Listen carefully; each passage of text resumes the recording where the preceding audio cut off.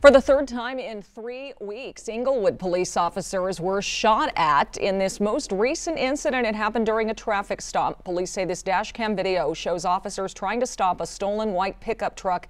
This was near Broadway and Bates yesterday.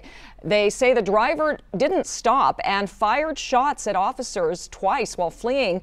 The driver got away in the end. Police say they were last seen near Quebec and Yale. No officers were hurt.